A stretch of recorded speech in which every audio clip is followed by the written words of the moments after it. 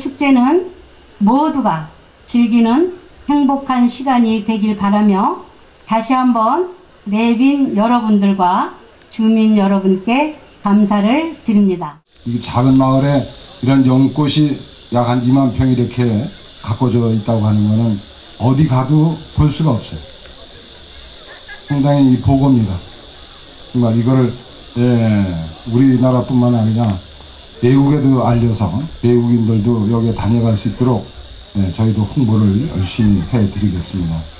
그리고 저는 태어나서 이렇게 에, 장대한 방활한 이 연꽃을 본 적이 없어요.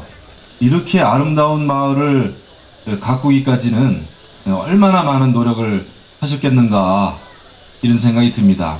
이제 앞으로는 이게 전국 규모로 어, 나갈 수 있는 그런 어, 준비가 돼야 되지 않을까 그런 생각이 듭니다.